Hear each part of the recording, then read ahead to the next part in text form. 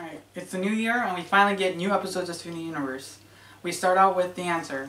It's it's Steven's birthday, and with that, Garnet wakes him up and we get to find out a little bit about her past and how she became Garnet.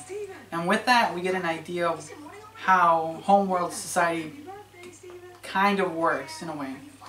Uh, to begin with, they show us their leaders, um, and no big guess, they're diamonds, the one of the most valued things on our planet.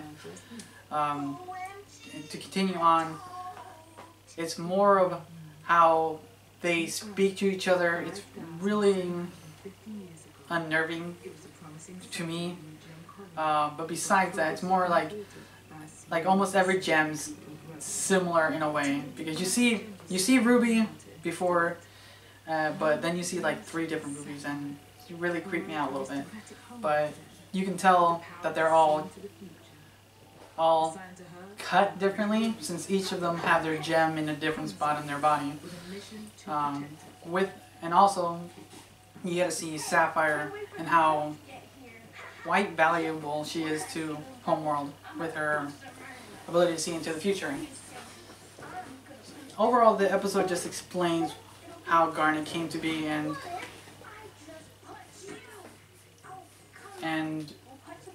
how one little change and how Ruby's actions basically had a chance to end Rose Quartz rebellion, but with Ruby's unnerving and hot-headedness just diminished everything that Homeworld had a chance for.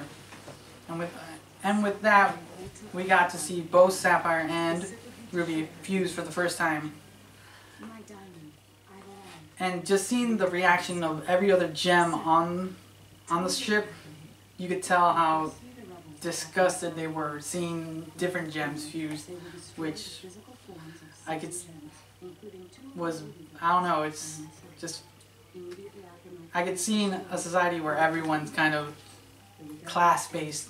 It was really like, like it's really hard to see this show being so deep, but I'm this far in, like 74 episodes in.